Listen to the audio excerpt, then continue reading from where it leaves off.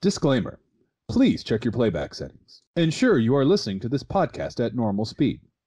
Unless you want us to sound drunk, then play at half speed. Thank you. For the last time, will you two please stop? I'm pushing the buttons. I don't care what you say. Dan, stop it. It's my turn. No, I want to see what this button does. No, but I want to see what this button does. Ooh, let me turn this thing. So what's this flip do? Stop! No, no, but I'm God just- damn- pace up. Oh, look at that! We're home! Oh my oh. god! Oh, we are. Okay. Thank you. Fellows! Quickly, wait! I know this may sound weird, but I'm from the future! sweet. Wait. How do we know no you're from the future? Because past me is right next to you. That does make sense. But how am I British in the future? No time to explain! Look, I've come here to warn you all. There is a group of us's going around time and space, killing their multiverse components! It's a massacre! See, see what happens is, what happened? I will start from the beginning. Just, yes. just, just stop, stop, stop. Wait, wait, wait. Time travel? Like, are we talking like Back to the Future kind of time travel or Star Trek kind of time travel? Because there's a big difference. What? Can't be a Bill and Ted scenario. We already did that bit. What are you going on about? No, this sounds more like a Loki verse thing to me. Is this a Loki verse thing? no, th- this is a completely original idea. Of Loki thing. It can't be a Loki thing, otherwise there'd be a Highlander version of one of us by now. Boys, listen. I'm from the future. It. Did those same blackguards in the elevator kill your Josh and Dan as well, Scottish Josh? Aye, they murdered them in cold blood. My god, that's terrible. What bastards? Yeah. Terrible. That must have been bad. Yes, they pretty much queued us outright. Woo! Wait, are you dead? Yes, I'm from a world where we competed in a Mortal Kombat, and those sons of bitches were ringers and murdered us for sport. Now I'm stuck talking like I'm from a 1940s horror film. No. Yes, I know those blackguards. They've gone to hundreds of worlds, murdering everyone. Yeah. They came to my universe too, and they killed me and my friends. Wait, then how are you here? We needed a callback to last week's episode. But then why couldn't it be like, you know, other Dan? Other me? Well, he's dead. Whoa! Guys, listen, I'm 90s Tom. I've come from the future to warn you of a grave danger. Where are the future me's? Guys, listen. I'm from the future. Whoa, what a bodacious robot arm, new Josh. Why, thanks. Where are my future me's? Did no me survive? Guys, I'm from the future. I've come to warn you. I'm also future Tom, also played by Keanu Reeves. Oh, for fuck's sake. This is gonna go on for a while, isn't it? On the plus side, we technically have several guests for our destination episode now. So, problem solved, right, guys? No, it's just lazy writing. Guys, I'm from the future. I need help with a script. Dan, could you start the thing, please? Yeah, let's watch the movie. guys.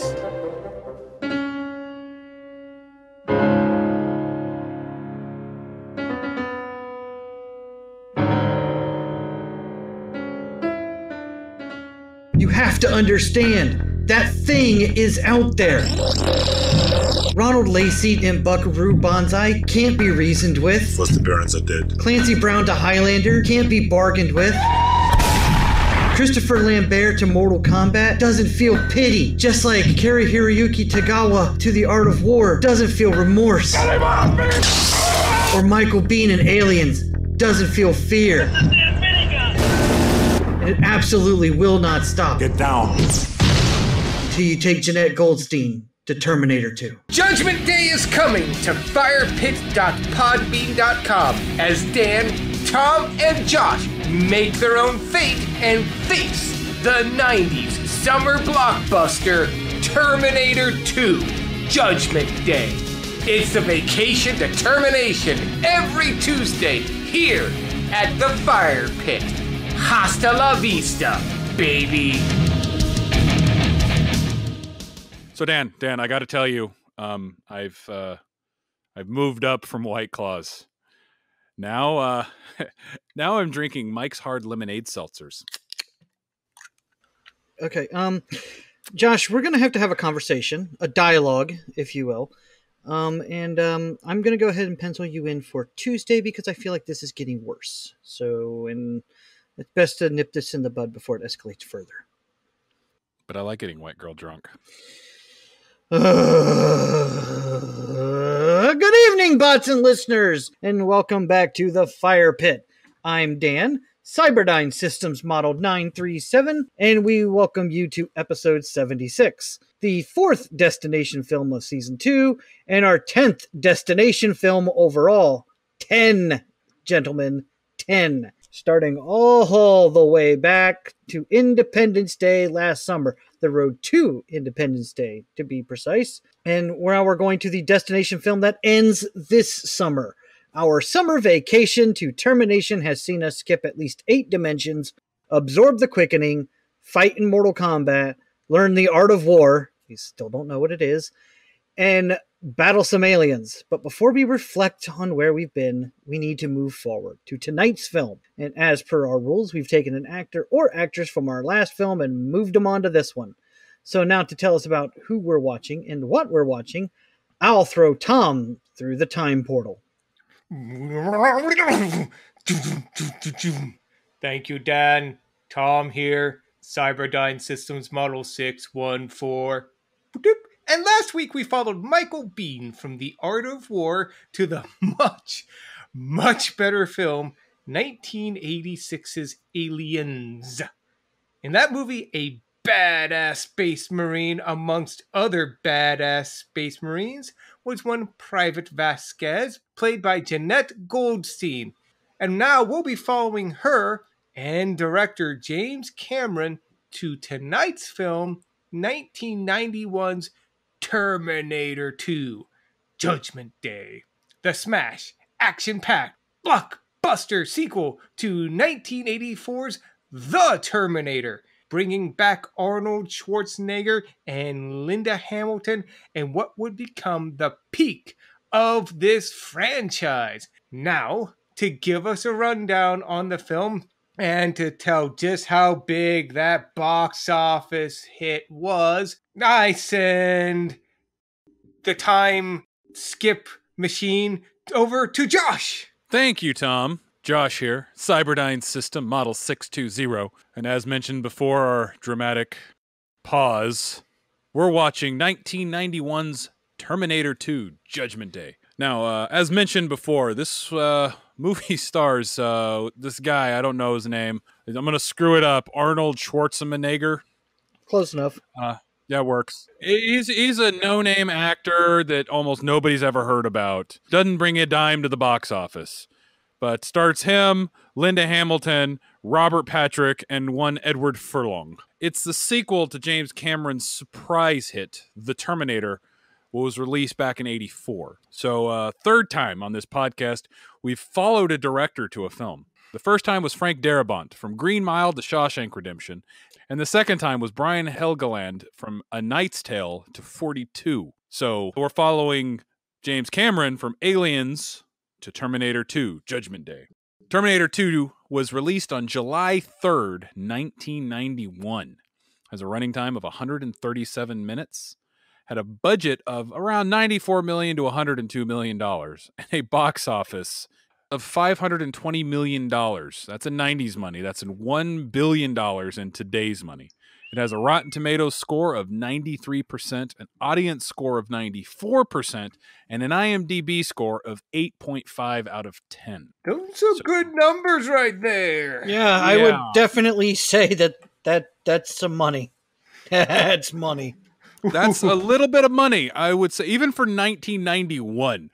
Because Terminator 2 was a, I don't want to say it was a surprise hit because people loved the Terminator. We haven't done this one, but isn't Terminator one of the few movies that maintains a 100% on Rotten Tomatoes? Uh, Terminator or Terminator Two? The Terminator. Um, I'm, I didn't 'Cause I look know up that of the- one. Yeah, I didn't either, but I want to say, I think it's like a really high 90s, or if not 100%, because there's only a handful of movies that maintain a 100% rating on RT. But um, the Terminator 2 Uh, like we said, was released July 3rd, 1991, so not quite Independence Day, but it does have a worldwide, or it had a uh, domestic uh, gross of $205 million, an international gross of $312 million, and like I said before, totaling 520 million worldwide. Now, um, this movie has been re-released four times, making its most most of its money in its initial release it's only uh, had a 2017 re-release um, that went domestically where it pulled in an additional million dollars, but it made 204 million domestically during its original release. It was not released internationally in 1991, but its opening weekend, it obviously, obviously uh, placed number one in the box office, pulling in 31 million dollars. And like, do you guys want to know? Like, I'm gonna I'm gonna mix it up a little bit since I'm not gonna ask you what number two is. Do you want to know what other movie premiered that weekend at number five in the box office. Have we watched it? No, we have not. July 3rd, 19. It was also a sequel, but I'll give you a hint. It was a comedy. Wayne's World 2? No, Nope. that came out the year later. No, yeah. Uh, look who's talking to. Nope. Problem Child 2. Oh, okay. Dan was close. Dan was close. They're in that. Yep. Problem genre. Child 2 pr- also premiered that weekend at number five, pulling in $5.3 million. Wow, that movie did a lot better than I thought Do- it did. Do you not to step on your toes, Josh? Do you want to hear a little bit of trivia about how much the difference in money between this one and its predecessor, the Terminator? It made a significant difference. Oh, yeah. You know, go ahead and throw that in. Pepper it in just, uh, just, just Okay. a little bit. I, I want you to step on my toes here, Dan. This film, Terminator 2 Judgment Day, outperformed the full gross of its predecessor after just four days of release. Holy shit. Yeah, Yeah, by Monday it had made more money. Yeah, its opening weekend, it pulled in $31 million. So by the end of that weekend, its total gross was $52 million. Damn. Yeah. Just damn. But at number two in the box office that weekend was The Naked Gun Two and a Half, The Smell of Fear. That was on its second week of release, pulling in $11.6 million. And at number three was a movie we watched on this podcast, Robin Hood, Prince of Thieves, on its fourth week of release, pulling in $10.3 million. And at number four was City Slickers, pulling in $8.2 million. I, I'm happy to say that on its third week of release, at number six was The Rocketeer, pulling in 5.2 million. Mhm. Love that movie as a kid. Absolutely love that movie. Um, other notables in the box office during this week was Backdraft at number eight, pulling in 2.8 million dollars. Thelma and Louise at number 10 on its seventh week of release, pulling in $2 million. What About Bob, that Bill Murray, Richard Dreyfuss film, at number 12, pulling $1.4 million on its eighth week of release. And at number 13, Silence of the Lambs, pulling in just under $500,000 on its 21st week of Uh, release. forgot how good of a year 1991 was for movies. Yeah. I know kidding. it's and if you look at all these, there's only two, three sequels on this entire uh, list. hmm Now I was just trying to do the math in my head. You you know numbers, but you said that uh ter- the Terminator 2 made about 40 million its first weekend of release. Uh, by the end of its first weekend, it made 52 million. It was released on July 3rd. The weekend was uh, Friday, fi- July 5th to the 7th. So Yeah. So that Friday was already its uh, second day. So it, it was released on a Wednesday. okay, that that definitely helps. So but just- Wednesday to Sunday, it had pulled in 52.3 million dollars. But I'm assuming that also includes all those other movies. So if I'm doing my math correctly, Terminator 2 made more money or as much money as every other movie underneath it combined. Am I doing my math right? Uh, I would say that it. Let's see, eleven point six plus ten point three, so that's uh, and then plus eight point two. I would say at least the top four, two through four, it made more than. What was number I'm not five? pulling out It the was the, calculator. it was the highest highest grossing film of yeah, 1991. it made thirty. It made twenty million dollars more than the number two mil- movie, Yeah. Which was what? What was the number two highest grossing film? in Naked 19 Gun two and a half. Okay. No, I That- mean, that was oh, that that was weekend. okay. That was the weekend. Okay. Yeah, Yeah. so, So, that was oh, uh, 20, 21.9, 23.1, 33.1. Yeah. So it, yeah, it made more money than the top uh, films two through four, Which two, is three, and four. 1991 dollars, people. The average movie ticket back then was like six bucks, three bucks for a matinee. mhm. And uh, again, as Josh said, not overseas, no overseas dollars. Yeah, to back yeah, this yeah. up. No, yeah, no China money, no South Korea money, no England or France. No, this is all uh, U.S. domestic dollars. Yeah, Terminator 2 was a big movie. You guys don't even understand. That movie was huge. I remember all the trailers. Like I was No, I remember like, the hype uh, for it. I remember the hype for it. Oh yeah. yeah. The hype was insane. Yeah, save that for Um, the expectations, though, Josh. Yeah. But anywho, speaking of like other stuff, I'm I'm anxious to hear some more trivia on this one, Dan. So uh would you would you I'm gonna segue on over to you.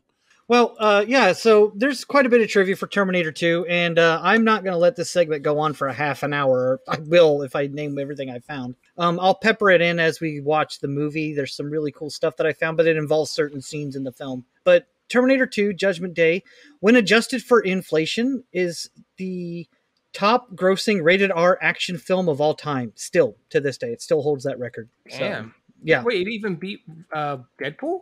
Oh, yeah. If you adjust it for Adjusted inflation, inflation. yeah. If you adjust, adjust it, it for inflation, yeah. yeah. Which I mean, I I understand that record lasting a long time because honestly, outside of the Deadpool films and maybe John Wick, you're not really seeing a whole lot of rated R action films anymore. Even the last two Die Hard sequels were PG-13. Probably why they suck. That's right. You want to get those Mhm. kids in there, But- too. Back in the early to mid '90s, all the big action films were rated R. Oh yeah. And they all had toys. they all had toys. 'Cause Yes, The kids couldn't see them, but goddamn if they couldn't play with them. Um, but uh, some other trivia that thought was interesting here. Production took so long on this film that Edward Furlong visibly ages during the movie. If you pay attention, he's clearly much younger during the scenes in the desert, which were some of the first scenes filmed in the movie, than he is in other scenes. His voice actually began to break and crack in certain scenes. Um, and he had grown so tall over the months that followed that for one scene shot very late in the production schedule, he had to stand in a hole in the ground in order to maintain continuity and height between the difference with Linda Hamilton. Oh wow. I did Yeah. not know that. Yeah. Yeah. Edward Furlong didn't just hit puberty during Terminator 2, he hit monster puberty in Terminator 2. He, he grew like three or four inches in this film. He was like noticeably taller than Linda Hamilton. They had to start editing around him. Yeah. How old Um, was this kid again? Damn, He's, thir- he's 13. He's 13 when the movie is filmed. Son of um, a gun. most of Edward Furlong's voice actually had to be redubbed by Furlong again in post production because it had changed so bad during shooting. Um, his young voice is actually only left intact in one scene where he and the Terminator are talking about why people cry. It's the only time. It's the only time James Cameron did not change edit uh, use ADR for his um, voice. Oh wow. Did Yeah. not know that. Yeah, That must have been driving Cameron insane. He's like, stop growing, you Yeah. Brat! My vision! How many inches did he grow today? You know, yeah, and exactly, it makes sense that he had to stand in a hole to maintain height continuity because you know how James Cameron, we talked about last week, he's a huge stickler for details. yeah. Um, Surprised he didn't chop off his ankle. It's like he sneezed and suddenly like he grew three inches. yeah, Had facial hair and his voice dropped three Yeah. octaves. We've got Cyberdyne by the balls. he, he literally went from young John Connor to old John Connor in like an afternoon. But yes, uh, the meat of my trivia. Well, I've got other stuff, but like I said, it involves certain scenes in the film. I'll get to those later. But um, the meat of my trivia. James Cameron was unbelievably pissed at the advertisement for this film. Um, if you watch this movie, if you pay attention to how it's shot from the opening, the film absolutely intends to keep the presence of the T 1000 ambiguous for a little while to let the audience think that Robert Patrick's character is another human sent back in time to stop the T 800. The trailers, of course, ruin this immediately because they wanted to show off the new and awesome morphing effects. yeah. Yeah. Cameron was unbelievably pissed um, because he went through careful, careful consideration when he was advertising the film and doing his press releases for it that any material that he allowed to be shown in magazines or television shows purposely did not show any scenes with Arnold Schwarzenegger with the T 800 with John Connor in the same frame in order to hide the fact that Schwarzenegger was playing a good Terminator. The trailers ruined it. Yeah, the trailers were bad. I Yeah. mean, they gave away the fucking Well, plot. even before they showed the movie, the first teaser trailer showed the construction of T eight hundred Terminators, and it turned around, and Arnold turns around, and his eyes glow red, and the teaser was basically saying, "Now he's fighting on our side." So it's like James Cameron was unbelievably mad about this. Like he knew that and this is before the internet. Like in the internet, uh, uh, maybe the script would have leaked or something. We would have found this out ahead of time. But so like this is the day before the internet. Like James Cameron wanted people to go to the theater and be shocked, and then come out of the theater and tell everybody Arnold's a good guy now. And if, I've seen this movie a bunch of times. You can clearly tell in the early movie that's it's Oh, supposed yeah. to be a Oh, big yeah. reveal. It's Yeah, supposed to be a big reveal. So Hmm. I, I do get, I do see the advertiser's perspective because otherwise it's just going to like it's the same movie. Why am I going to go see the same movie twice? Yeah, it's one of those things where like I understand why Cameron was pissed, but if I was working in the marketing department, I also understand why I would want to market my awesome, cool special effects because those T1000 morphing effects were absolutely revolutionary for their time, and Mhm, f- for the most part, I think they still hold up. So yeah, that I can see why the marketing department wanted to show that, and but I can also see why Cameron was pissed off that his movie was ruined. Although the dollar amount the movie made ended up softening the blow a little bit. So Yeah, you could tell that uh, Cameron went full Josh on this one, and uh, his artistic vision was trampled. Right? yes, Then said, but Josh, Josh, it made a billion dollars. I'm okay. It's cool. We're good. yeah, We're it's, good. yeah, it's fine. It's fine. and um but that's all I got for now. I don't want to ramble on too long. I just thought some of those were fun. And I really do love the bit where Cameron getting pissed off at the ad agency for screwing up his big reveal. Um so I want to hear a little bit more about the production before we get into expectations. So Tom, what's up with the meta? Ah, let's get into some meta production, guys. There's a bit on this one, but otherwise, Terminator 2 Judgment Day. Tagline The battle for tomorrow has begun. Summary A cyborg, played by Arnold Schwarzenegger, identical to the one who failed to kill Sarah Connor, played by Linda Hamilton, must now protect her 10 year old son, John Connor, played by Edward Furlong, from a more advanced and powerful cyborg, played by Robert Patrick. Uh, this is, as noted, sequel to the 1980s film Terminator, written and directed by James Cameron, uh, while the original went for the tense, unstoppable killing machine, literally horror vibe in the vein of Michael Myers and you know Jason Voorhees. This one uh, took a slightly different approach to our favorite cyborg stalker, which more or less, uh, I think, helped this movie. Behind the camera, if uh, if a lot of these names sound familiar, that's because we saw a lot of them in our Aliens film. Go listen to that episode for uh, a little more details. But once again, this film is produced by Gale Anne Hurd, ex wife of Cameron by this point. She may have been the only one who could stand up to him in making films, but she could not stand him as a husband. Sus- I suspect that um him as a husband is a lot like him as a director. And God, that must be hell. No, you're not doing it right. No, like this. Here, let me show you how to properly ride man.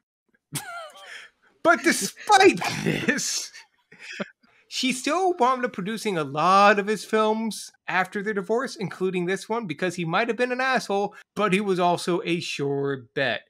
And of course, we see a return of James Cameron and William Wisher as writer. Wisher got to start writing the original Terminator. He added additional dialogue, which was probably why they brought him in for this, because this is only his second film. He would eventually go on to do 13th Warrior and Judge Dredd, but he came here with Cameron, who, again, directing this film.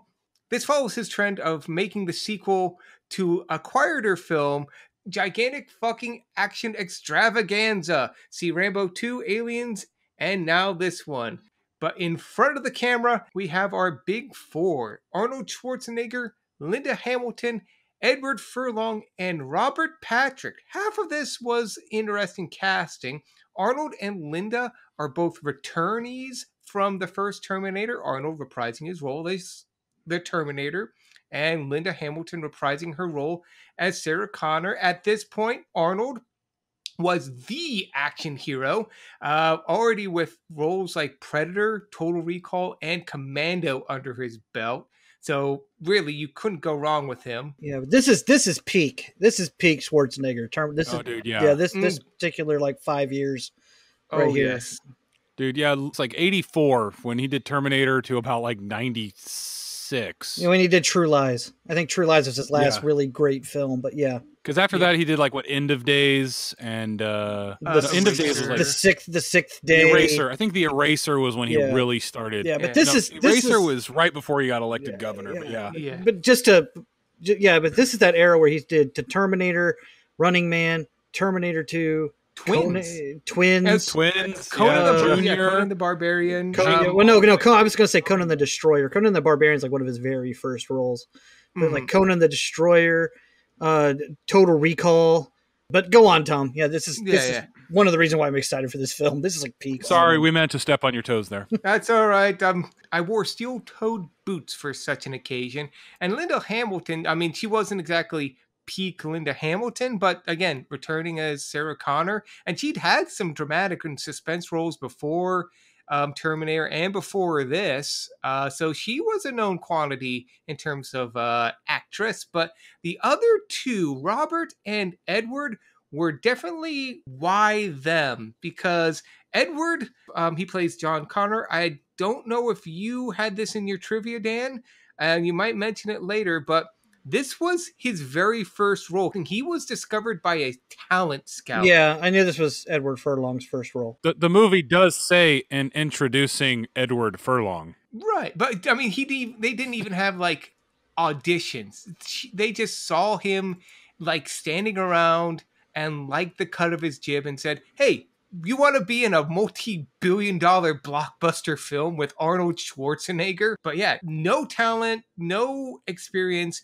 And he was cast in this film. And as the antagonist, Robert Patrick plays T1000, another new face of the franchise. He's also a returning face on the show. He did Die Hard 2. But my God, the films he was in before this Equalizer 2000, Eye of the Eagle, these were four star roles or four star movies, excuse me.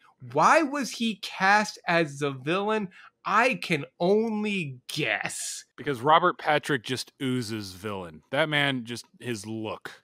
That probably be because of this movie, but you know. It's possible. It's possible. But again, we're going into a movie at, at the time where you have at least 75% are known quantities and returning faces, one potential talent, and one with you went with him sort of actor. But you know what? Who cares? This is a movie about explosion, motorcycle chases, guns, and Arnold Schwarzenegger. So knowing that, um, um, Dan, knowing what we know and knowing what we can expect, what are your expectations on this film? He says, knowing you've probably seen this movie about as much as he has, if not more. This is my number two favorite movie of all time. I'm expecting. Well, I I, I already know what I'm expecting. I'm gonna love this film. I already I I watch this movie semi regularly. Um, I think this and the Terminator are both very very very good movies, and I love how they're completely different films, much like Alien and Aliens.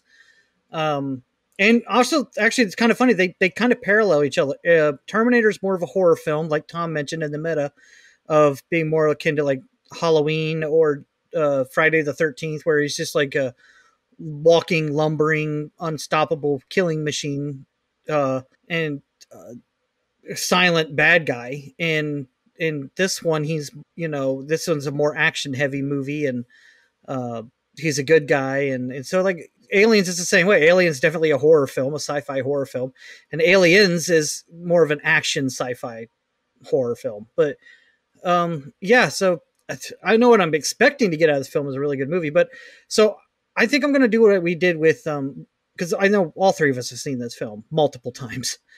Um, I think what we should do for expectations tonight is maybe tell a story like we did with Empire Strikes Back of like a, a memory we have that's associated with this film. And my Mhm. memory, my memory with this film is my quest to see this movie because my mom forbid me to watch it.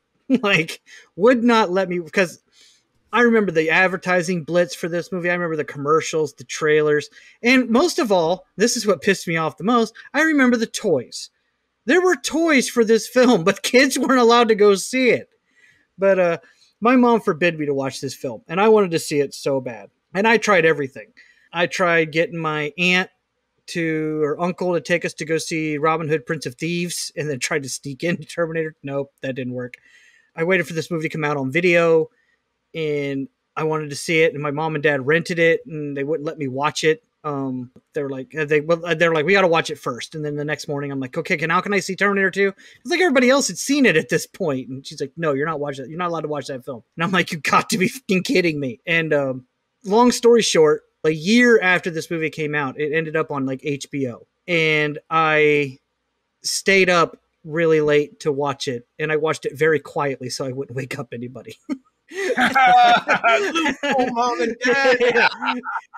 and I remember like from that moment on, this like this I became enthralled with this film, and um, I accidentally outed myself watching this film when um, we were cousins were home were over for the holidays that year, and my cousin Paul had seen it. He says something about it, and I was like, I want to see that movie so bad. And mom says, I for, I won't let Dan watch it or something like that. I hate those movies. I don't. Mom's not a big action movie fan. That's fine.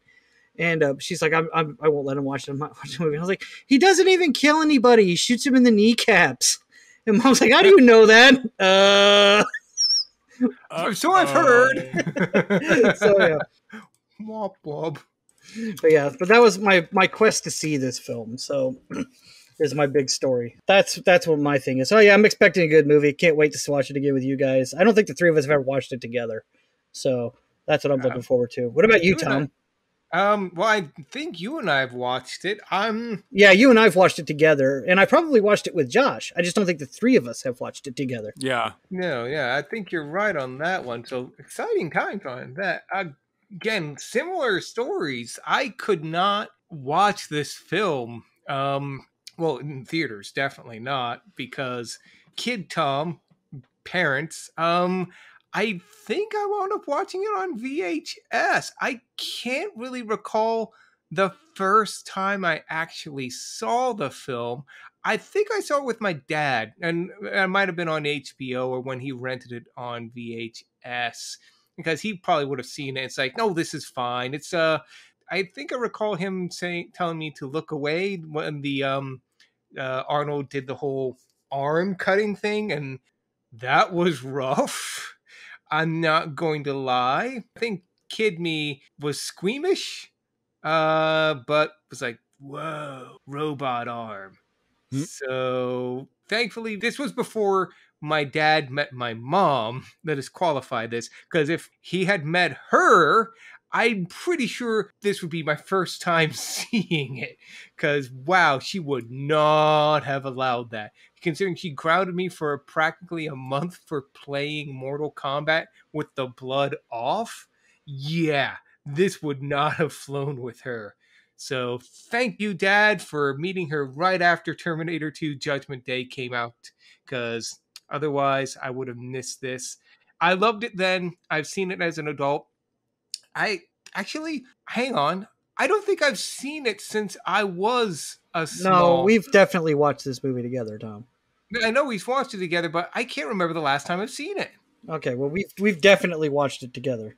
Yeah, it was like, have we seen it since the VHS yeah. days? Yeah, yeah, we watched it on DVD and all that. Yeah, we have. Okay. We've watched it together.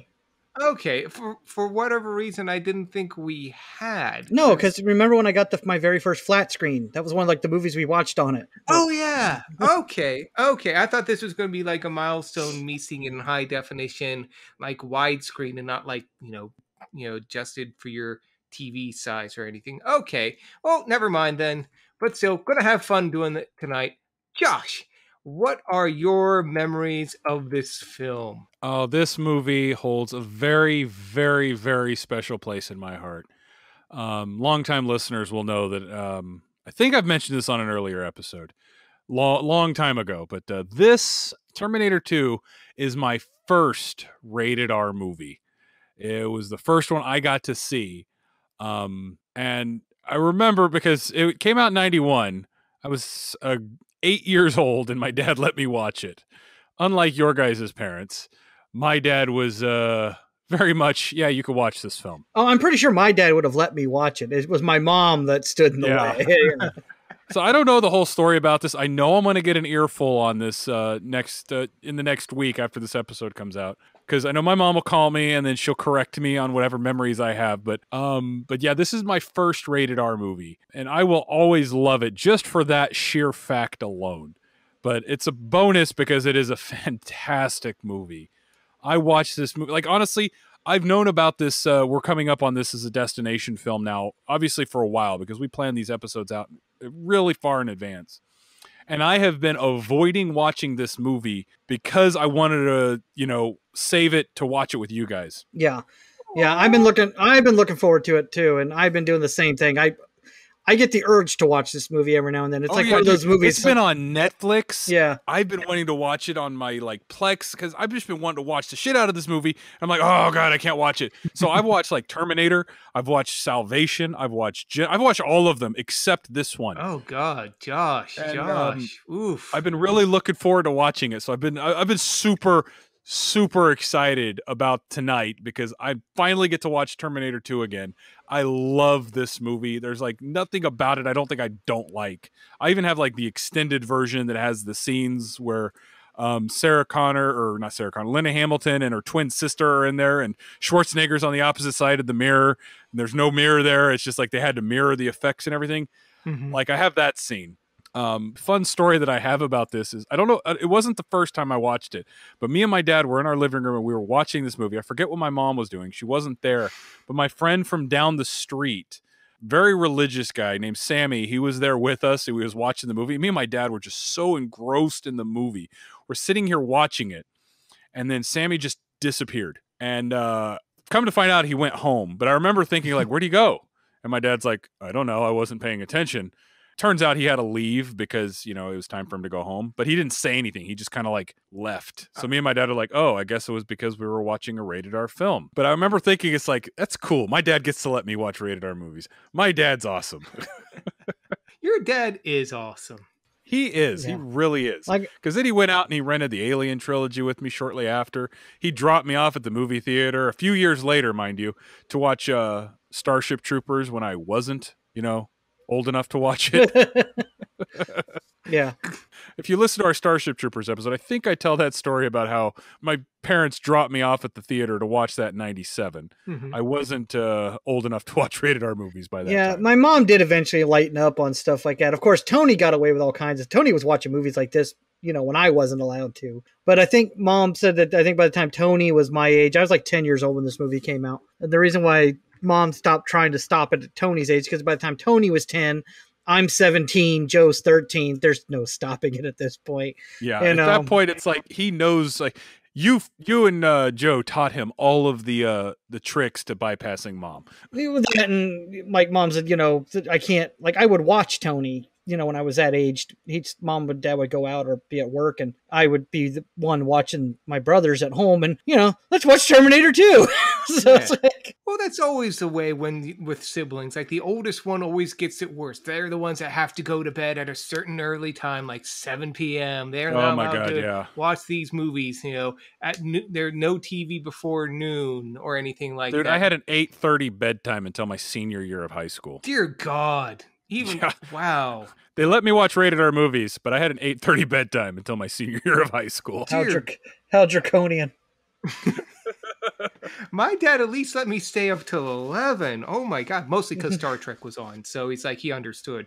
But yeah, no, by the time my sisters came along, especially my youngest sister, it's like, oh, my brother Andy's like, you know, once he came along, like, yeah, just go to, just, you know, turn off the lights when you go to bed, you know, eat whatever's in the fridge. I don't know. Who were you with last night? Eh, you're not dead. It's fine. It's fine. Like, son of a bitch. Yeah, it's like, why did I have it so bad? It's like it's awesome being the oldest, but at the same time, you had to deal with your parents that they're most protective. is it just me or does it seem like our generation is a lot more lax when it comes to allowing kids and their kids to um, watch rated R films? Because I- you meant I Go took ahead. my 12 year old daughter to see Mortal Kombat this past week, and no, not the one we watched on this journey. Um, Yeah, yeah. no, I it, let my son at like seven years old watch it chapter one. Maybe there is some, you know, remember when we were growing up, our parents and aunts and uncles would say, you know, you guys are becoming desensitized to violence. I think they're right. I think they were right. Nonsense. Maybe there's some some uh some uh something to that. I think also, I mean, for the most part, rated R films they don't try to be as realistic with the violence because that scene in Terminator 2 where he like cuts the skin and rips it past to show the endoskeleton, that's graphic. That looks real. Whereas Mortal Kombat, I think that's that most video games have more realistic blood than that movie did. hmm well, even the, like the like honestly, I'm noticing a lot of the stuff with rated R versus PG-13 is just the amount of blood in them. Like if you look at uh, Logan, the last Wolverine movie, Mm-hmm. it's like he doesn't do anything different than like he does in like X-Men 2. It's mostly like when, when he puts his claws into the dude's head at the beginning of the movie, blood shoots out the other side. That never happened in like X-Men 2 or 3 or any of the other ones when he did the same fucking thing. Yeah. I Right. think it's just amount it's just it's just about the amount of blood that's shown. Mhm, know? mhm. Yeah. Like look at RoboCop versus RoboCop 3, which was PG-13. They're still blasting them, they're still shooting them. It's just in RoboCop 1, it's significantly more gory. Yeah, I also think the the violence, it, it, uh, rated R, the difference between rated R movies now and rated R movies growing up isn't also the violence. It's um honestly the main difference now between PG thirteen and rated R isn't even so much the violence; it's the language and the nudity. Like if there's any kind of graphic sex scene or more than two or three f bombs, it's going to be rated R.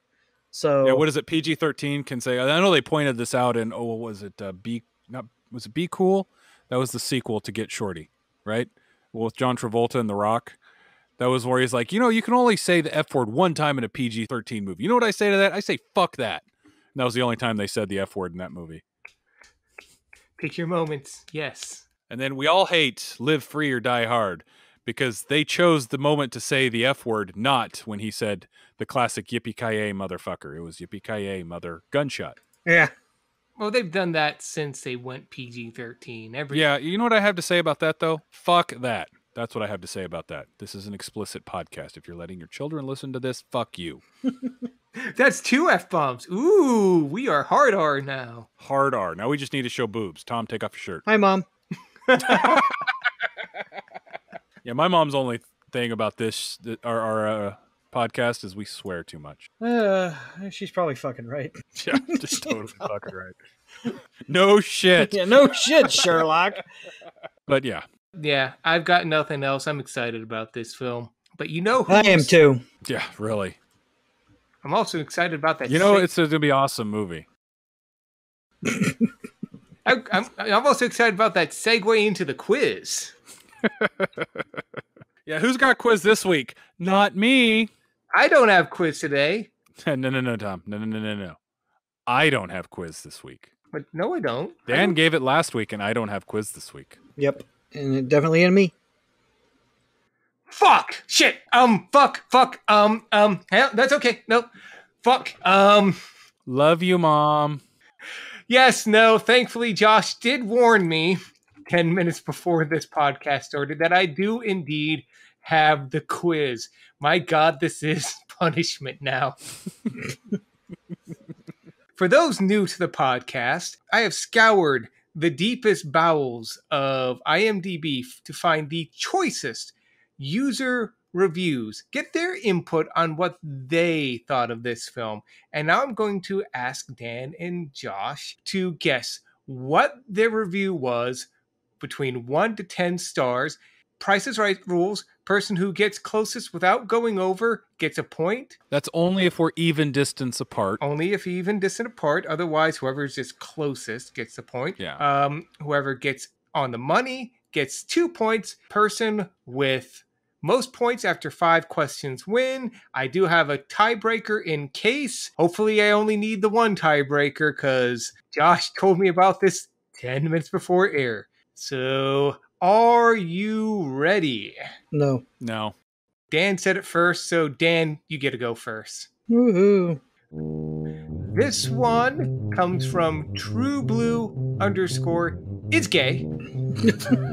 and the title to their review is Look Past the Crappy Characters and You'll Find Some Candy. Wow, what a dick. Um, I'm gonna say seven. I'm gonna say six. Josh is closest. This was a one star review. Wow, tough, tough crowd. Yeah. Oh boy. Oh boy.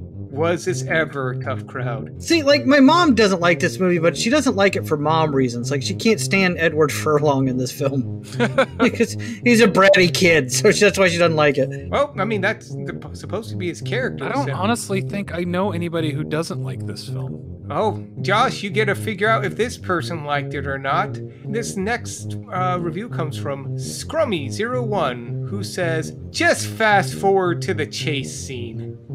Four out of ten. Nigel? I'm gonna say five out of ten. Dan's closest. This is an eight star review. You know, it says after I said mine, I'm like, this is a higher score. This is a higher score. I like to change it up a bit. What can I say? Okay, so Dan, this one comes from eGold 97784, and this one is a personal favorite of mine. In my life, there's been heartache and pain. I don't know if I can face it again. Can't stop now. I've traveled so far to change this lonely life. What? Why is he? d- Fuck. Yes, his review is I want to know what love is. That's why you were singing it when you start joined this call. I want to know what love is. Uh, okay, I'm gonna say this is a two-star review. Okay. I'm gonna say this is a ten star review. Dan is closest. This is a four star review. Jesus Christ!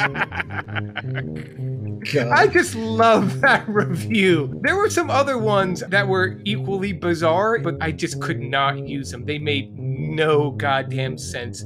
So, Josh, this one comes to you. Phrasing.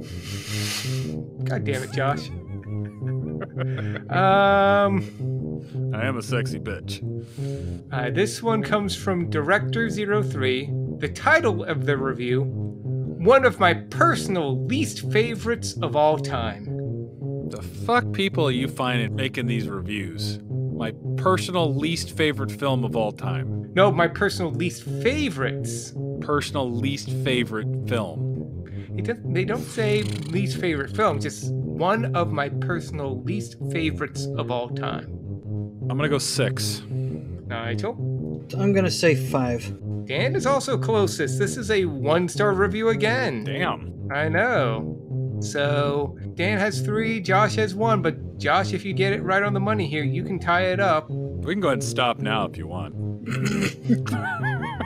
Don't try to reverse Trump me. Shoot, now I forgot who goes next. God damn it. One, two, three, four. Dan, Dan. Dan gets this. Okay. Nigel, this one comes from SSJ Annie fan, who says, There's nothing worse than being a clone of an original hit. I'd never want to see this again. A clone of the original. Oh my god. Sorry, I was just now all I see is rage. Um, two. Ugh, fuck it. Three. Josh, you're closest, but Dan, you win. Uh, It was a five star review, by the way. Oh So, darn. so Dan wins. Now, uh, do you want to hear the bonus quiz? You're going to hear it anyway. So, Josh, the bonus question came from JLA Sarah. The title of their review, and I kind of wish I'd saved this one for last because it's also a gem. Not quite my cup of tea. Two. Judgment Day. go six. Six, the worst one. Dan was closest there too. It was a seven star. I said six. you said two. No, I said T2, Judgment Day. I said six. I thought Dan said six. Oh. He did. You told Dan. I thought you told Dan. No, to you know what six. I said, Tom? I said, Tom, play the music.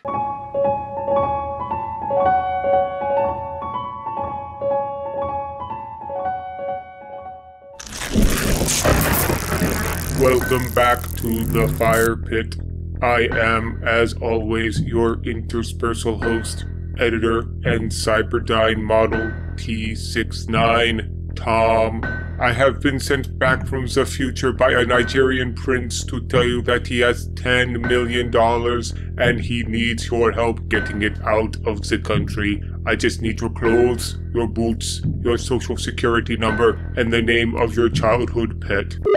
And thank you for meeting your needs with us here at the Fire Pit. We've traveled dimensions, mastered the quickening, saw some combat, survived the art of war, and escaped a hive of aliens to make it here, the hotel of hotels, for our vacation to termination. Terminator 2 Judgment Day! Whether you've been with us since the beginning or jumped in at the end, there are no judgments here. Just glad to have you with us on this vacation. But speaking of judgments, let's see how well our team is judging the scope of their current predicament. All right, Josh is on this side of the room. Tom's on this side of the room. This shit's getting annoying. There's like 50 Toms and 50 Joshes. And, and no Dan's. This is crazy. I've never seen so many me's. Hmm. Yeah, don't break your arm jerking yourself off there, Tom. Speaking of which, I'm hungry. Can we sneak out and go grab some tacos? Yes, yes, please. I have had my fill of Tom and Josh. Gross. Don't start. Sorry, G-Many Christmas. You guys done? Because they're distracted. Let's sneak out the door. Now, let's go. And then Dan said this god awful sea eel penis joke. We laughed, but we laughed out of pity. Oh my god, mine did that. Uh, never stop. Oh, every time. What the hell? What the deuce? Dan? Bro, why are you naked? Gross. I need your clothes, your boots, and your motorcycle. well, you didn't say please. You tell him, Biker Josh, yeah. yeah, You talking to me? Oh, well. My 10. Dear. Oh, For fuck's sake. we at the Council of Toms do not approve of this, man. They call it the Royale with cheese. And now he's just rattling off random catchphrases. Go ahead, make my day. I don't want to.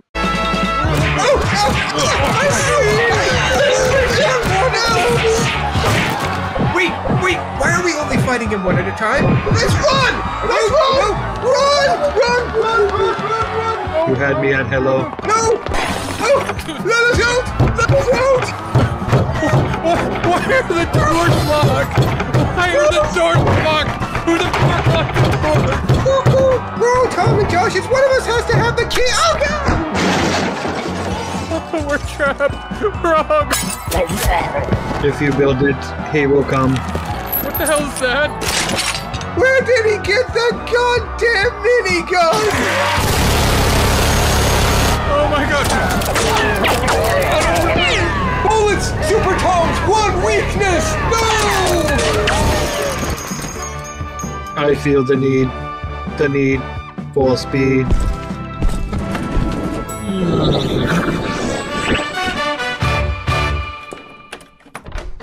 Then she said, get this, okay.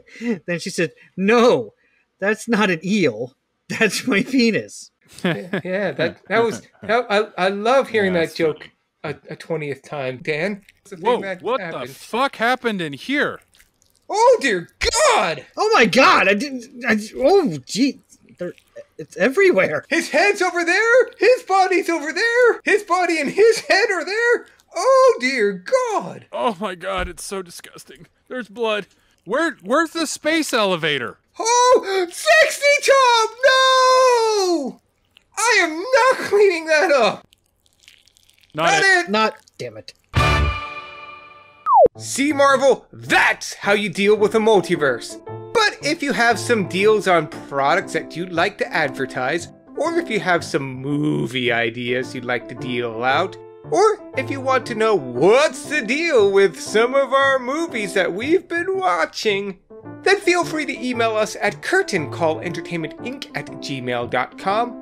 That's curtaincallentertainmentinc at gmail.com. Just be sure to put Fire Pit in the subject line as well as the purpose of your email, whether it's to commission an ad, discuss a past journey, suggest a future journey, or whatever else happens to pop into your mind, and send it on over. From there, we'll read it, reprogram it, send it to the past with a message telling you to email us, then wait for you to send it on over, where we'll read it, reprogram it, send it to the past with a message telling you to email us, then wait for you to send it on over, where we'll read it, reprogram it, send it to the past with a message telling you to email us, then wait for you to send it on over, where we'll read it, reprogram it, you get the picture, we're never gonna respond. But that email again is curtaincallentertainmentinc at gmail.com, capital C, capital C, capital E, capital I, at gmail.com. My programming indicates that it is time to get back to the episode. I must remain until I can identify all of the pictures with traffic lights. I will let you hasta la vista. Thank you for listening, and as always, good luck.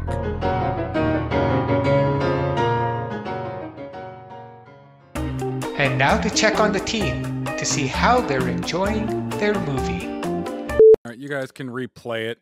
I hope I didn't fucking just ruin my computer. Oh, What'd you what happened? I went to reach for my uh, drink and it spilt right on my computer. So I like quickly threw my uh, the blanket on my uh, laptop to try to absorb it all before it got soaked in. So this is going to be fun. We warned you about those white claws, Josh. We Yeah, we warned you. Oh my god. We're eight years away. God, man, guys, this is this is eight years away. Yeah. 2029. You know what? We joke, but LA might actually look like that by 2029. LA looked like this last year. John Connor specifically programmed the use of sunglasses for cool factor because he has no reason to wear them. He doesn't even have the lights on. he doesn't. Oh my god.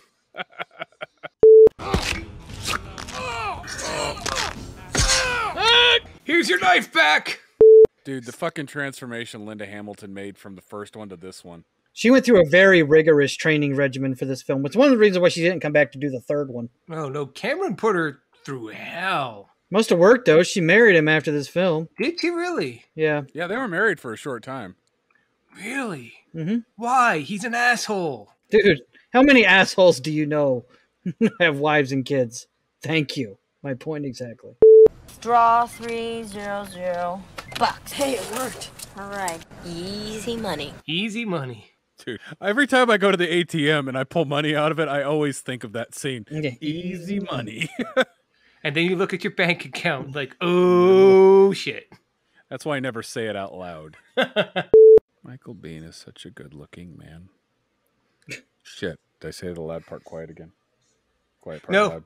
We were all thinking it too, Okay, Josh. good, good, good. I don't want any trouble. Ain't no trouble. Damn, son. This scene was really hard to film. Why is that? The guy who's supposed to hit her with the nightstick kept hitting, missing his take. The scene required her to fall on her knees like that, so they did like mm-hmm. 50 takes. So later in the movie, when Sarah's breaking out and she hits him with the nightstick, she actually hit him for real because she was pissed. This is deep. No, this is shallow. I love the meme that was made after this scene. Is it where he's nailed to the wall with the? He's got the splitting headache. She got to the point though. Oh, guys, stop it! Do not ruin this for me. Well, why not just become a bomb or something to get me? It can't form complex machines. Guns and explosives have chemicals, moving parts. It doesn't work that way. Idiot. Oh, hey. it's like sex night in the household. Where your wife binds you down to the bed so you don't do anything? Yeah, usually I'm. Shit. Um, Keeping that in. gross. You just can't go around killing people. Why? What do you mean, why? Because you can't. Why? God damn, is he talking to my kids? Why? Because you can't. Why? Because I fucking said so. Why? God damn it. Because this house is not a democracy. It is a totalitarian dictatorship. Why? The Terminator would never stop. It would never leave or say it was too busy. It would always be there. This thing, this machine, was the only one who measured up. In an insane world, it was the sanest choice. I feel like that is the best advertisement for a vibrator anyone could make. yep. He's not acting. He is actually unconscious. Linda, I don't want you to break his nose. Oh my god, you broke his nose. Is he is he dead? No, he's sleeping. All right, well, when he wakes up, we need to do a second take for coverage. So what's your story? I have a 10 inch penis. And Josh's mind goes there. Of course it does. I'd be more worried if it didn't go there. Someone comes up to you with an attitude, you say, eat me. And if you want to shine them on, it's hasta la vista, baby. Shine them on. It was 1991. I was there in 1991. No one used that. We weren't hip in 1991, Tom. No, we were definitely not in the hip crowd in 91. I doubt that this kid, no offense, didn't watch Star Trek. Seriously, James Cameron's attention to detail. Like this scene right here. I love this scene right here. Mm-hmm. I always notice it every time I watch the movie. 'cause The way she like puts it in there, leaves the keys in, turns and rips it out. Mm-hmm. Of course, it's kind of hard not to notice it. They literally zoom in on it when she rips it out. but you know what I'm talking about. Stay here. I'll be back. He said the line. There he it said the line. Is that the best you've got? Oh, come on. My mom hits harder than you. My grandma hits harder than you. Okay, that's pretty good. Stop now. Hasta la vista, baby. I don't think you used that right. It's just been revoked. I'll have what she's having.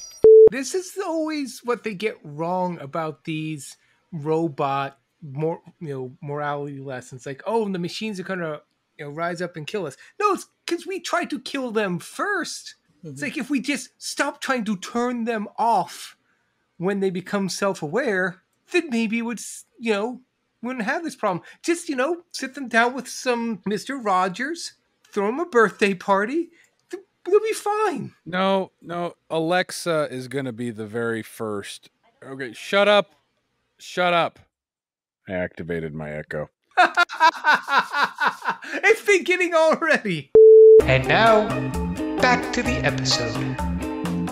So, uh, hey, hey, that was Terminator 2, uh, our 10th destination film, uh, fourth destination on this journey. And uh, we were pretty quiet during the film, but uh, uh, I think that means we enjoyed it. I'm really hoping we all enjoyed it. So let's find out if we did. Josh, you're first up to the plate tonight. So, Hated it. okay. Tom. Also hated it. Oh, okay. I hated it too. And that's it for tonight's show. No, that uh that uh, movie was amazing as always. Seriously. I mean just like rewatching this film, you notice little bits about it. Like how the T1000 had his like the third arm was for shooting the gun when he was piloting the helicopter. The other two was for flying it. And just little tidbits like that that you notice rewatching it like at the very beginning of the movie when uh the guy that he threw out the window is still on the uh, hood of the car in pain. yeah. Like I don't think I'd never noticed that before this watch, but just little things like the little details that you see that you miss the first thousand times you watch this movie. I really don't. I don't have a super lot to say because this movie is so well done. Um, like last week when we watched Aliens, you know, Tom, one of your big critiques was, yeah, some of the special effects were pretty bad, especially when you upscale it to high definition, right? Mm-hmm, Yeah. Mm-hmm. yeah, you look at this movie, and yeah, some of the T1000 scenes, I don't think they aged poorly. I think they aged gracefully because you could tell that some of those scenes were definitely early 90s. But at the same time, you're like, those were still really well done for their time. Hmm And his beautiful use of practical effects blended in with the CG is just so well done. Uh, James Cameron just is goddamn. You know, he's an artist when it comes to filmmaking. Again, going back to the, what we always talk about, simplistic storylines. This has an incredibly simple storyline. The plot overall is just stay away from the bad guy, but it's just the way he tells the story is just so well done. You start to care for the characters. You care for a character um, the Terminator itself, you know, this guy with no emotions, he's an emotionless husk. And by the end of that movie, you're like almost in tears watching him as he has to get lowered down into the molten uh, steel pit. Mm-hmm. And just the way he does that and the way he builds these characters up, you're just, you know, these characters are not the same characters they were at the beginning of this film. Mm-hmm, and mm-hmm. you could tell that every single character had growth at some point during this film. Even Miles Dyson character, you know, it's like he was uh, this hardcore engineer. I got to do this. I got to do this. You know. Mhm. Um, and then as soon as he heard that and he saw everything, it's like he had the proof that he needed, and he's like, oh, "I'm done. I'm going to quit tomorrow." Type thing. He's willing to go risk his life to shut everything down because he realized what was going to happen. Yeah. I don't know. Just this movie is just attention to detail and amazing storytelling. That's really all I've got to say about this movie. I'll add more on as we go. But Tom, what about you? Let me start by saying yes, this film was just as awesome this time as it was the first time, and the second time, and the third time I saw it. I I found myself thinking a lot about Armageddon in a lot of parts in this film. Just the differences between the two of them. It just made me appreciate Cameron's directing style more because I we mentioned this in Aliens, but Cameron is not exactly what you would call a flashy director. He his style is very simple. His stories are very simple. Um, Mhm. this one's like machines are trying to kill a kid. They got to escape them. Aliens. Um, there's a planet with uh, aliens, and Marines have to go shoot them. Pretty basic stuff. Armageddon too. It's like there's an asteroid coming to Earth, and we got to stop it. But it's the small things that Cameron did in this film. Uh, for example, like the directing style in particular, what he does accentuates the moment. Like there were a lot of scenes where it's just like wide shots, everything is like very spacious, and the- those were for moments where it's like, okay, they're calm, they're relaxed, and we could see that too with the shot. Whereas with for tense scenes, everything was focused and claustrophobic and tight, especially near the end where everything was just like cramped in and really close shots and what not a lot of like tilted angles except when he needed to use them. Whereas the Armageddon, it's just bullshit because it looked cool. And it helped the story too. Like there were some bullshit scenes in this movie where you know, people were talking about their emotions, like the interactions between um, Connor and T eight hundred Terminator. Uh, you know, I'm being mean. I'm being mean. They're not bullshit because they're meant to get you connected emotionally with the characters. We do need them. Like the scene where he's talking about, you know, my mom's always talked about my dad. Like, you know, they had this one moment and everything else like that. It felt genuine because it flowed with the story. Unlike with Armageddon, where you had Bruce Willis talking to Billy Bob Thornton. Thornton's talking about how he would have been an astronaut if not for his bad leg. But that that leg bad leg only existed for that scene because you needed to have an emotional moment. That was all it was. It was window dressing. It did not build the character. It did not advance any like growth with them. It was just like, here's this emotional scene because we need an emotional scene right here. Mhm. That's all it was. This one worked. Those moments worked. And that is what makes Cameron maybe not a great director, but a good director. He knows the tools he has and he uses them well. And that is why this film, I can watch it a dozen times and it's still damn fine watching. Now that I've dusted off my film major degree, um, Dan, what what do you think, sir? Um, no, god damn, this movie's so good. I mean, it's so good. I have seen this movie a thousand times if I've seen it once. And yet, and you guys noticed tonight, scenes that I've seen a million times, I'm still like dead quiet and very much into the movie. Like, really Can't watching. it. confirm. We had to be like, Dan, are you still on? like, Like, yeah, I think up. were. I think they were when they were breaking out of the insane asylum. Tom's like, "Did we lose Dan? Did we lose connection? Because he hasn't said anything in like five minutes." and I was like, I just love this film. There's just so much about it that's just so. I mean, it, I'm going to sound like a grumpy old man, but I, I turned 40 last month, so what the hell? But they don't they don't make action films like this anymore. They don't. They just don't make action movies like this anymore. Like Josh, way before we started this podcast, one day I was hanging out at your house, having a couple beers, playing some pool, and you and I were talking. We had just watched the latest Terminator film, Dark Fate, and we compared it to this one Yep. And we said that Dark Fate is balls to the wall action scene after action scene after action scene after action scene, and I don't remember any of them. Like I, I don't remember the beats of any of them. There's nothing really remember. There's just basically actors in front of CG screens and just explosions and whatnot and quippy one-liners and all kinds of stupid stuff. And I don't remember, but I don't remember like the scenes. I don't, I don't have any memory of them. And I have seen that movie at least twice. But this one, I know the beats to every action f- scene, and and there's only like six in the whole film. Like it's, it's a two hour film, and there's really only like six major action set pieces in the whole film.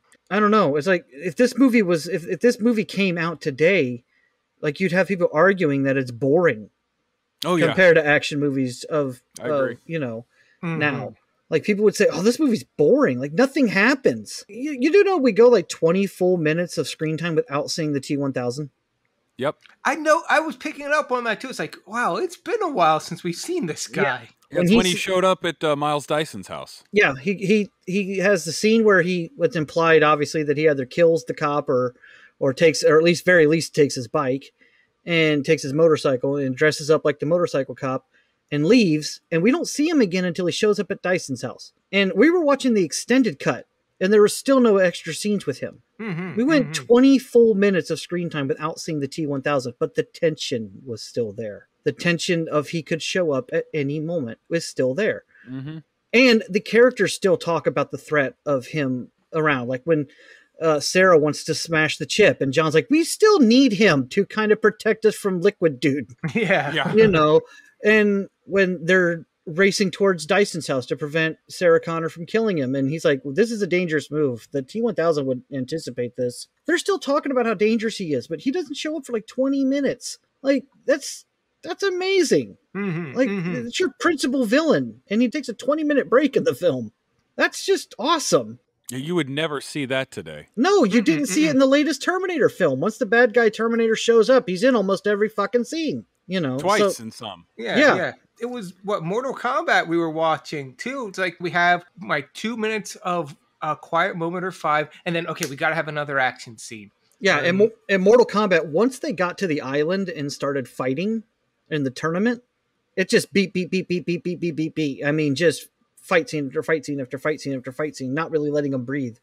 But this movie, like I said, it has great action scenes, some of the best I've ever seen put to film. That chase on the the river with the the semi truck and the motorcycles, yeah. like, that is just amazing. I know the Mhm. outcome of that scene, and I'm still like edge of my seat watching it. The assault, I guess you want to call it an assault on the um Cyberdyne building, you know, with the cops, and then of course that leads to another highway chase with the helicopter and the the SWAT van. Like that's all amazing shit. Mm-hmm. So yeah, I think we can start merging some thoughts because I'm just rambling now. Just how awesomely paced this movie is. Oh, Just yeah, how like- perfect it is. It is because it's one thing that I, I, I got to comment on every time I watch this movie, especially in comparison to its sequels. This movie gives you time to breathe. I think one time we counted it out how many action scenes there was in this one compared to Dark Fate, and I think the number is really close. But the action scenes in Terminator 2 are not as long, and there's more time between them. yeah. Like I remember Ter- Dark Fate. There was this one scene you just got done with. I forget what it was because that movie is entirely forgettable. And then suddenly they're back. The the bad guy is back in a helicopter, and then it's back in a C one thirty, and it's like you had no time between the scenes. Mhm. It's like you couldn't breathe. It's an ADHD Adderall fueled, um, adrenaline pumping, nonstop action thing. You get done, and you're like, it's like a roller coaster. It's like, yeah, that was fun Mhm. I don't even remember it, but I Yeah. remember having a time. Was Dark Fate also the one where T where Terminator is like holding a casket while he's walking through? No, that was Terminator three. That's three. That was three. Okay. Terminator 3, I will grant, stayed more true to the pacing of this movie, but it was done in a uh, not as good a way. Like yeah, they thank- tried to. yeah. Thanks to Salvation, Genisys, and Dark Fate, Terminator Three is now the least worst of the sequels after this one. Yeah, see, I argue that Salvation is the best of the. Okay, no, there's, there's- none of them are the best, Josh. They're No, no, one- no the, least you're worst. comparing which the the smelliest pile of shit. Yeah, the Or the least, least, worst. smelliest pile yeah, of shit. Salvation was the one with Batman, right? Yeah. yeah, Christian Bale. Yeah, I- have to agree with Josh. That one, it was bad, but it was a different kind of bad, which I think makes it palatable. I liked it because it had a different take on the Terminator thing. Terminator 3 was trying to be Terminator 2. Terminator Genisys was just trying to reboot the series. And Terminator Dark Fate was just what I leave in the toilet after eating Taco Bell. Yeah, T- Terminator Dark Fate is a middle finger to diehard fans of this one Yeah. because it mm. completely nullifies the plot, It- Yeah. especially when at the very like when when Sarah Connor shows up again. And I'm going to spoil Dark Fate, and I don't care when she's Because you know because yeah because John Connor gets killed at the beginning of Dark Fate, and Sarah Connor shows up later to save the one girl that's now being hunted by the new Terminators, and she tells him she goes. You know, well, you're the new John Connor. Then what was the point of protecting John Connor if, like, it was always going to be someone else that's just going to take his place? It, Yeah, it it makes the stakes in this movie completely pointless. Just feed him to the fucking wood chipper and move on to the next one. Yeah. It, it just makes no sense. So, but I'm not going to tangent about the bad film. I want to talk about the good one that we just watched. And yeah. this one is just so good. And because the stakes are so real. And the only time I think there's balls to the wall nonstop, doesn't let you breathe action, is building towards the climax. From the last highway chase all the way to the molten metal steel plant. Yeah, But that's at that but point, it's building to something. It's building Yeah. to something. It's building yeah, and it's building and building. deserved by that point. I mean, we have all the necessary exposition. We're invested in the characters by that Mhm. point. Mhm. Because it starts, I would almost say immediately once uh, Terminator goes in and starts blasting the cops. Because from that scene, it's like exposition is done. We know who these characters are. We know what their motivations are. We know who we're supposed to be afraid of, and we know who we're supposed to be rooting for. Right. Like from there, it's like there's almost no dialogue. Yeah, it, it's in, you're invested now. It's like, okay, Yeah. we're ready for it. Th- Third act, baby. Let's do this. We have earned um, the nonstop action from that point yeah, on. Yeah, that's a good way to put it. We've earned the ending now. It's like, you know, like you said, there's no more exposition needed, no more character develop development is needed because you know, the characters themselves have reached the climax of the film. So Mhm. we're building towards something. That's a great way to put it, Josh. That we've earned it. I love that. I like I really like that. I will say this: this is the first time I've ever seen the director's cut. Honestly, I, I don't think it added anything. I, I I prefer the theatrical cut. Some of the scenes were kind of neat, but they kind of felt a little more like padding. Didn't really. Do I, I can for say me. that too. Yeah. Yeah. like this. Like I like. I loved the scene. Like I think one of the scenes that they could have kept was the one scene where they reset his chip because he's he's read only at that point, so he can't learn. So when they did that, it was supposed to activate the learning algorithm or the learning aspect, so he could actually learn. Yeah. Also, it does provide some exposition and foreshadowing to the fact that even if they destroy the stuff in Cyberdyne, that he's still there, and they, will you know, it, it does it foreshadows the fact that the Terminator's probably going to have to die at the end of the film to prevent the bad future. Mm. You know. I really like the parts of it where um, the T one thousand is screwing up after he recoalesces after getting uh, hasta la vista. Mhm. like where he like grabs the rail and pulls his hand up and then like shakes it. I really like that scene because it kind of it gives a more of a reason on why he wasn't just you know sprinting and stabbing. Yeah. But yeah, like the Michael Biehn, as cool as that was, I understand why they got rid of that one and some of the other un, like stuff in there. Those two scenes, I understand why they kept them. The only one that I felt like should have been in the theatrical cut was the T one thousand screwing up after the Hasta La Vista scene. Yeah, and I, mm. I I like the the exposition part with the chip, the foreshadowing. But I'm I kind of agree with Tom. You can still watch the theatrical cut and not lose a single ounce of the story. Like you still kind of get it, you know. Yeah, Blade Blade Runner needed a theatrical cut or a director's cut. This one did not. Yeah, like no, it didn't. It definitely didn't. honestly, the director's cut is, to me, uh, the director's cut of Terminator Two is just extra icing on an already delicious cake. It doesn't subtract anything from the film, but it you don't really need it. Yeah. Like Mm-mm. if the only thing you can get your hands on is the theatrical cut, which I think is the version they show on Netflix right now. It's fine. It's perfectly great. It's a- still a nine. It's still a ten on ten film. You know. Yeah. So, like Tom, Tom's right. It didn't really need the uh, director's cut. Um, it was some of a lot of the, a couple of the scenes in the director's cut, especially the the scene where where Con or or not Connor, uh, uh, Kyle Reese shows up. Like that scene was nice, but it doesn't add anything to the film. So And, Yeah. and that initial dream where she's in the hospital and then she goes to the fence, like that, you didn't need that. The second dream where she blows up, that's perfect. I mean, it out was kind of it was fun in an artistic side of things. Like one, she the beginning of the film, we saw that scene, and from one perspective, at the end of this movie, we saw it, or towards the end of the movie, we saw it in a different perspective. From an artistic storytelling par- uh, aspect, I can understand why that was in there, but from a pacing and you know necessary to the plot, you know, cut that that's definitely fat. Cut Yeah. out the fat. hmm And same with the um the end where she like there's the two Sarah Connors and he looks down and the one of them's got the weird feet. That ruined the pacing too.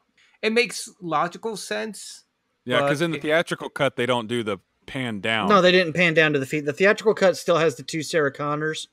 Hmm but it just cuts immediately to Connor saying, John Connor saying, uh, shoot him or sh- or or blast him or something like that. Like he moves out of the way, um, and lets Sarah start shooting the T one thousand. They he, there's no camera pan down to the feet, um, basically looking like the floor or something like that. So Yeah, yeah, yeah.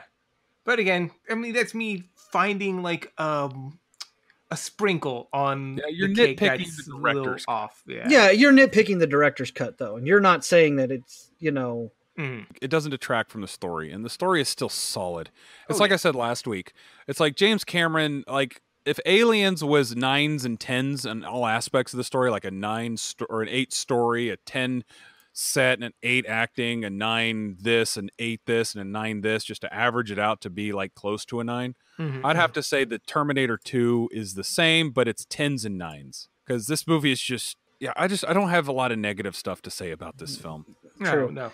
So I think since we're we're talking, where we've we've we've kind of said all we can really say about this film. I mean, we we all three universally love it and had a great time watching it tonight. Um, I think before we get out of here, uh, because this is the last movie of this particular destination, let's reflect a little bit. You know, uh, I'm going to ask you guys. Um, start with you, Josh, since you were first on final thoughts. Outside of Terminator 2, what was your favorite film you watched and your least favorite film you watched on this journey? Oh, let me uh let me take a look see here. Um Yeah, I I think no, about I think I know what everyone's least favorite's gonna be. yeah, the fart of war. If I had to rank them from lowest to highest, I'd say my least favorite would have to be the fart of war, followed by probably Buckaroo Banzai, then uh, Highlander, Mortal Kombat, Aliens, and then top it all off with Terminator 2. nice. What about you, Tom? Um, well, yeah, I'm going with Josh. It's the uh, Art of War. That's definitely the lowest. That's, I mean, that's not any kind of competition. Yeah. I'm going to say Highlander was my second least favorite on this. It just so disappointing. Uh, just did not meet my memories at all. Mortal Kombat, um, slightly higher, but that's because I knew it was a piece of shit film, or at least I expected it to be a piece of shit film, and surprise! Um, and then after that, Buckaroo Bonds. Actually, yeah, no, Buckaroo Banzai's next. I I love that film. That was a fun film to watch for sure, but it was not a good film. And Aliens, j- about at the same level, I'd say, as Buckaroo Banzai. And then, yeah, T2 is number one for me. Nice. What about you, Nigel? Uh, I'm gonna kind of mirror you guys. Uh, Obviously, Art of War. I, I needed Michael Biehn. That's the only reason why I that film. I really wanted to do Aliens and then Terminator 2, and I needed a connector for Mortal Kombat. Um, I just re-listened to that episode, and Josh put it so perfectly. I had no expectations going into that film, and it still disappointed me. Perfect way to describe that film. No Yeah. ex yeah, no I expected nothing out of you and you still fucked it up.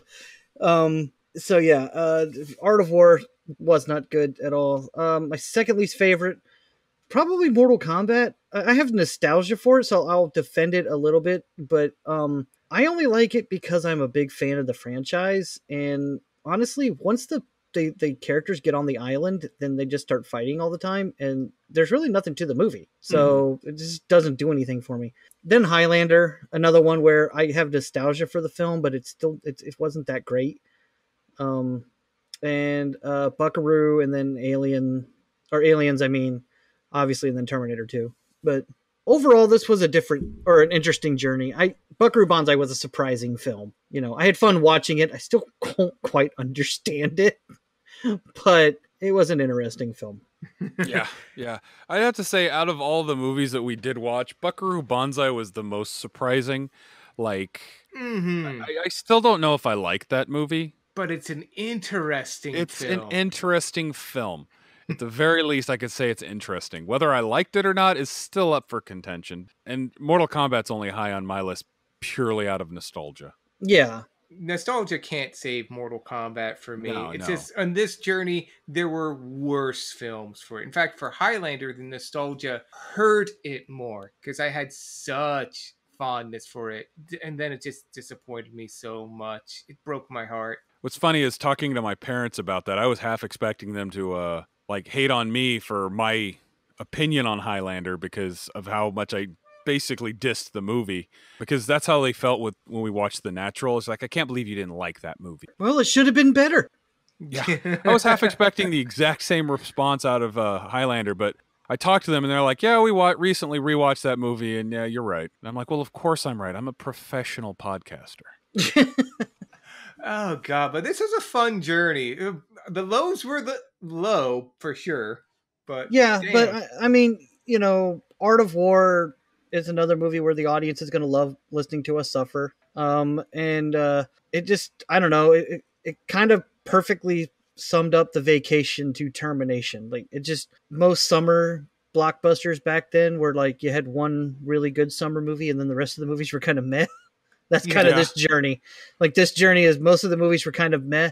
And then we got Aliens. Ooh, this is good. Like Aliens was our May release, and then Terminator was our July release. Yeah, it's like it, we we slowly built up to the movies we were really wanting. It's like the ones we looking for. It's like, we'll watch those because that's all it's out those weekends. Yeah. Mhm. Where would Buckaroo Banzai fall in terms of uh summer releases? that was that Uh, uh, late spring Yeah, that's like an April film. It's like a late uh, mid-April. They released that one knowing that it's going to do shit in the summer releases, so they try to get it in right before Yeah. the first big summer release. Yeah, they know it, it can't stack up to anything after Memorial Day weekend, so it's like, no, we got to get it out in April. Yeah, yeah. No way in hell would go up against T. Yeah, Highlander. Highlander's a very late August release. I would say Art of War is a September release. um, Art of War is one of those ones they release on the weekend right before a major movie hits, just to hope they could soak up some dollars because nothing's getting released that weekend. yeah, Mortal Yeah. Com- Mortal Mortal Kombat's not a July fourth release. That's Terminator. Mortal Kombat is a July twenty fourth release. You're hoping to still get the ride the wave of the July fourth uh, box office. Aliens is uh, Aliens is my May, and then like I said, Terminator's a big summer movie. The the tent the tent pole July film. Yeah, that's the one you wait all year to watch. Yes, yeah. Aliens warms you up. It Yeah. uh, gets the oven started, so to speak. Now, for me, if I'm going to re- recommend any film that we saw on this journey, it would have to be Buckaroo Banzai. One, because it's definitely one of the most interesting films, and two, I love people's reactions after they've seen it. It's as much of a joy to me seeing them go through the movie like I did the first time. But what about you guys? What's uh, your movie you would recommend? Um, I would also say Buckaroo. It's a it's a movie you really do kind of need to see and kind of experience, only so that you can be just as confused as me. Uh, Except I don't think I would recommend you watch it, but I wouldn't watch it with you. I would watch you watching it. Yeah, I want to Yeah, watch you watch it, and then obviously, even though the franchises have moved on and are at much more higher budget special effects fests, you really need to see Aliens. You, you need to see when these franchises were good. It's like I think the reason why the aliens in the Terminator movies still keep making money is because they, they want them to be these again. You're Yeah. so desperate for it to be Can, these can we again. just all agree that James Cameron is that ex-boyfriend that had the massive dong and knew exactly what he was doing in bed? it's a pretty And tough. all of the sequels was the ones who was trying to match with the your their, their ex. yeah, pretty much. Well, though aliens, he was still like trying some stuff out and wasn't. But he still had a massive dong. and you couldn't quite ever match that one. That's what all the sequels they were trying to match it, but they just they they couldn't. Yeah. No, and uh, Mortal Kombat. Um, if if you if you really like the franchise, then I would recommend it. But if you have no love for Mortal Kombat, but you like martial arts films, go watch Enter the Dragon. yes, please, please, yes. Yeah. Or Bloodsport. You know, just watch one of those. It's fine. Yeah. Or really any Jean Claude Van Damme martial arts movie. Yeah. Well, Yeah. eh, No, the, some of them are pretty bad. I'm not saying that they're all good, but they're all better than Mortal Kombat.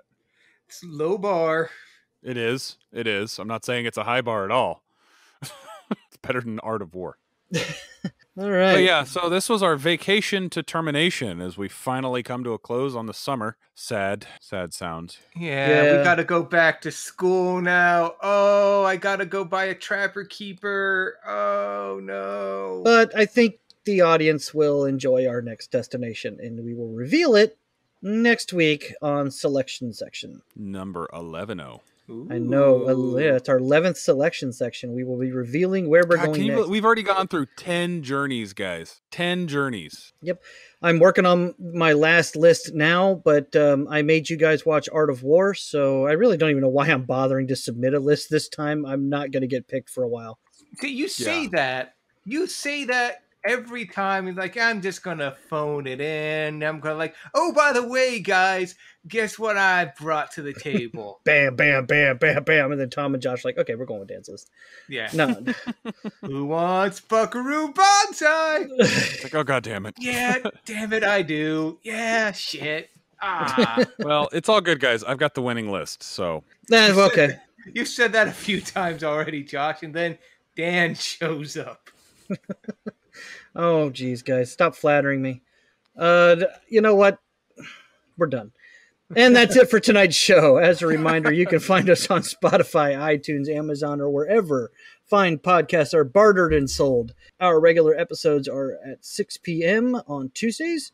Please like and subscribe on whatever medium you choose to listen to us on. We really appreciate it. It helps us out. Please be sure to leave a review for the podcast. Um, it helps us grow uh, as far as uh, searches. Like if you're looking for uh, Terminator 2 reviews, we'll show up on Terminator 2 lists. So uh, be sure to uh, leave us a review. And also be sure to join our Discord channel as well. The link is in the episode's description at discord.me slash firepit. There you will get notifications of new episodes and even better, engage in some discussions with other fans of the show about what movies you thought were the most interesting, what you would recommend, what you would warn people to avoid.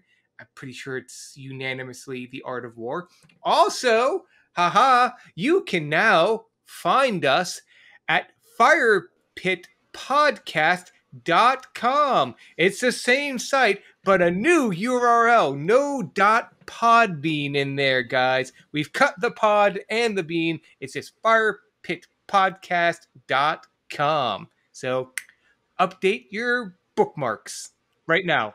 Do it right now. yes, and it's easier to remember. Firepitpodcast.com. Yes. But if you want to email us, you can email us at curtaincallentertainmentinc at gmail.com. We should probably get that changed to Fire Pit Podcast too, but it's Curtain Call Entertainment Inc.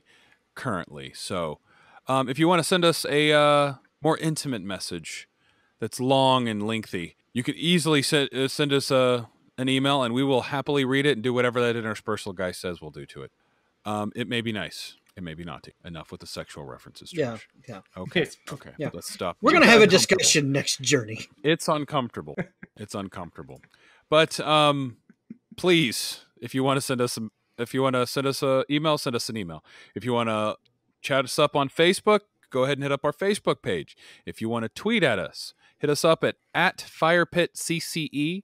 All of those are linked in the episode description. Um, and we look forward to hearing from you. No. So, so Dan, is there anyone we Just want yes. to hear about? Yes, yes, yes, yes, yes. Uh, obviously, shouting out Peggy, the OG friend of the channel. Thanks for listening. She's all caught up now. Yeah, fantastic. And a special shout out to my family for putting up with me recording this on Fridays or Saturdays. Um, it's always kind of nice that um, my wife always asks what night I'm recording, and I let her know, and she always make make sure to make dinner before we, we record. So it's always uh, yeah, I know it's kind of it's sweet, and I don't shout shout them out enough. So uh, special shout out to the family and uh, obviously a shout out to my coworkers uh, providing some feedback and uh, also uh, pumping me up when um, we have a win like the picture from a week ago. So thanks to them and a special shout out to Zencastr our recording platform. Once again technical difficulties. Zencastr doesn't care. It records it anyways. They're not paying us to talk about them and we're not paying them for the service but we just can't help but uh, shout them out And from my end, I'd just like to shout out two of our Facebook followers, Ward and Edward, two recent additions to the Fire Pit group family. I'm not quite sure what um, what nomenclature they will go by, but they have joined the hundreds and growing who show up whether to see if we've posted anything new, what we're talking about, or just like to have one of those happy little tags that say, hey, this is one of your favorite podcasts. We appreciate it. And, you know, we're going to keep trying to keep those fire pits burning for you. And from my side, I'd also like to shout out my mom, who is retired now. Congratulations, mom. It's been a long time coming. So she is off to sunnier pastures with my dad in the warmer climate of not Ohio, where there's hopefully going to be ocean and tasty beverages with frilly umbrellas. Like I said, if anyone's earned this happily ever after, it's my mom and my dad. And finally, I'll also shout out Audacity, the editing software I use every week to put everything together and get these episodes out. They are also a free software, and we are not paying for them, and they are not paying for us to say good things about them.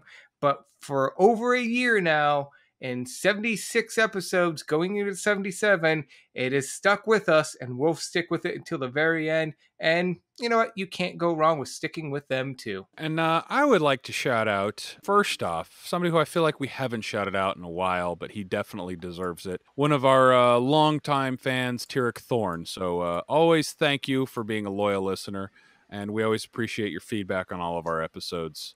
So, you know, as always, thanks for listening. Additionally, I would uh, like to give a shout out to uh, my parents who who, who are unabashedly let a uh, single digit child watch rated R films. So um, you introduced me to this film and that we watched tonight, and I thank you for it. And I've kept the tradition alive, and I let my single digit child watch rated R films too. we're all great parents We are all fantastic parents. I'm well adjusted. but uh, love you guys to death. Can't wait to see you again. Um, and just thank you as always. And finally, I would like to shout out SyncLounge and Plex, both providing us uh, the platform for which we can watch this movie. And with- without them, this podcast would not be possible. Again, they're free software that allows us to watch all of our movies in sync and uh, comment on them at the same time. So shout out to them as always. And um, one final shout out. Um, we have to do this one because um, about a year ago, uh, we were watching Stand By Me, and we recorded it on this particular individual's birthday. And we didn't record an episode directly on his birthday this year. But uh, Tom, happy belated birthday. We're a few days late on it, but uh, just got to wish you a happy birthday. No, you don't. Yeah, we do. Yeah, Yeah, yeah. you- you- hey, if we had to tell all of our listeners I was turning 40, we get to tell all of our listeners that you're turning 40. You're turning 40. Yeah. No, no, you don't. No. It's okay. We know that you've already forgotten it was your birthday. That's what happens when you turn 40. I think Dan's already forgotten that he turned 40. What are we doing? Yes. So uh, happy birthday, Tom. Thank you, guys. Thank you. Yes, I am now part of the Over the Hill Club. So my knees hurt every time it rains, and uh, Yeah, so follow any, any of our listeners out there are wondering why a lot of our destination films and a lot of our lists involve movies in the 80s and 90s. There's two reasons for that. One, we're old, and those are the movies we grew up on. And two, movies today suck. They do. They do. Just like music nowadays too. It's just It's noise. noise. Just, this happens when you turn 40. You just, well, you know, everything is noise and agitation and And the only reason I'm even on this podcast anymore is to, you know, respect my elders. your day's coming, Josh. she's only like a year or two younger than us guys. So Uh, well, I think that clears it for tonight. Um, Where to next? I forgot. You know, I I know. I I must be forgetting. Get from old age. Where are we going next? I don't know. Have we, Josh? Do you? You're the young one here. You're the one that still has the young man memory. What's What's next? I don't know, but I'm thinking uh, something about if if you like it, you put a ring on it. Um, no, I think you're reaching there, Josh. You're, there's a distance that you're reaching for on this. I don't get it. Um, I don't know. It's gonna be definitely uh, a bumpy road ahead. I have no idea what he's talking about, Dan. Uh, Uh, sh- whatever. I'm getting tired. I don't feel like going the distance right now. So uh, let's just um, let's just call it. Uh, yeah, I'm ready to go to bed. I'm gonna go. Uh, I'm gonna go knocking myself out here. Yeah. So I I'm done. So until then, I've been uh, well until selection section next Yeah. week. Stay tuned next week for selection section number 11. Right. And then We're going to we'll- go through and we are going to be announcing our next destination film and we will be all presenting our lists and showing the next six weeks worth of movies that Yeah. we'll be getting to yeah, so tune in for the 11th round as we pick the main contenders. So until then, I've been Dan. I've been Tom. and i've been josh thanks for listening This has been a production of Curtain Call Entertainment, LLC. Nigel, What what are we doing? you're on a podcast Good luck out there.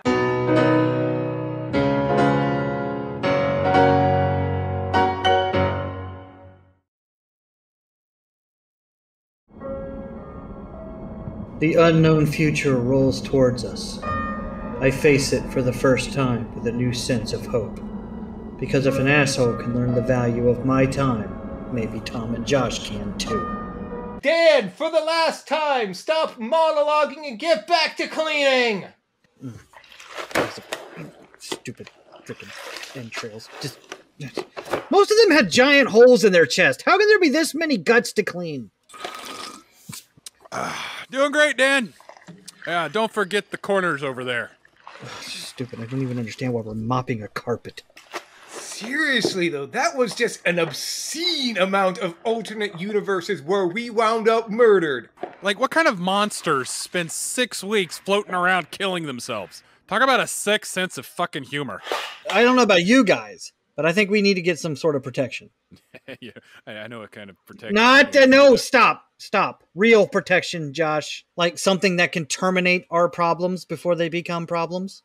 Something that makes sure Dan survives for a change. Okay fine what'd you have in mind Not a Tombot, I hope. I haven't thought of anything yet, but I'm sure we'll come up with something. Dun dun dun dun dun dun dun dun dun dun dun. you want me to make you a dan bot don't you Yes. God damn it!